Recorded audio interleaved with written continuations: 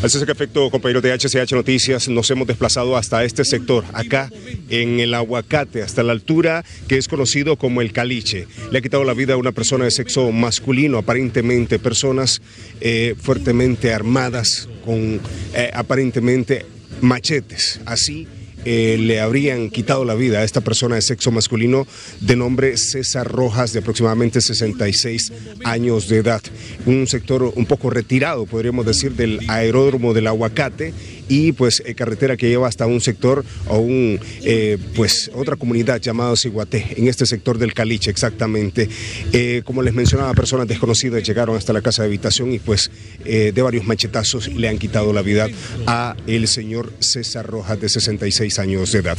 Ya ha llegado la Policía Nacional a la espera que llegue la Dirección Policial de Investigación junto al Ministerio Público para que hagan el reconocimiento cadavérico correspondiente en este sector. Compañeros, este es mi contacto en cámaras de nuestro compañero Gerson Y también ayuda de Marlon Laínez y vamos cada retorno con ustedes a los principales estudios.